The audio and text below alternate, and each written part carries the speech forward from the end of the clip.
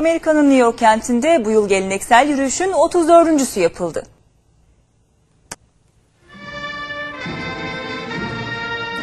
Türk-Amerikan Dernekleri Federasyonu tarafından düzenlenen yürüyüş, Manhattan'daki ünlü Madison Caddesi'nde gerçekleşti. Büyük coşkuyla gerçekleşen yürüyüşe ilgi yoğun oldu. Türkiye'den giden mehteran ve halk oyunları izleyenlerin büyük beğenisini topladı.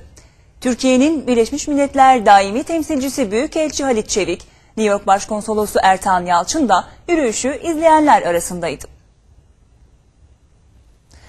Yürüyüş Türk Evi'nin yanındaki Doug Hammarskjöld Parkı'nda düzenlenen festival etkinlikleriyle son buldu.